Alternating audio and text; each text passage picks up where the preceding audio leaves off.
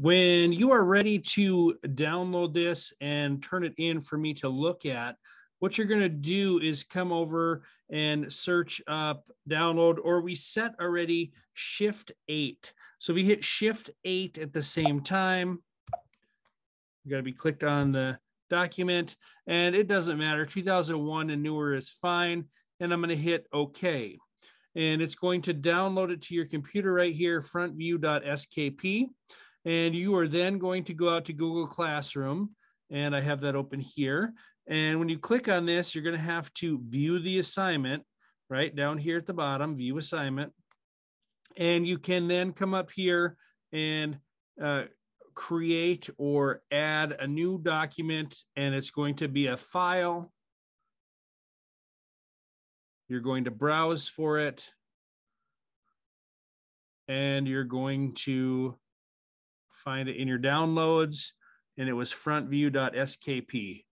There it is, and upload. Once you have that uploaded, you can then click turn in. Okay, once you click turn in, okay, there's two of them there, whatever. Uh, I will look at it and I will return your work back.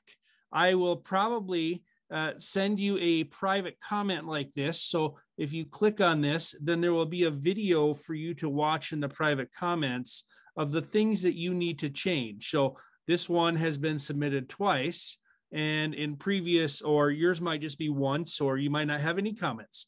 If you're done, you're going to have uh, points up here. So right now it just says points possible, but it would say like 10 out of 10 when you have this done.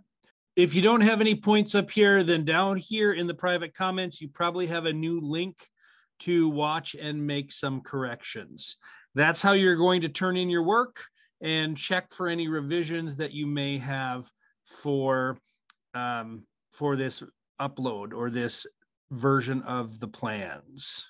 If you have any questions, please talk to your instructor.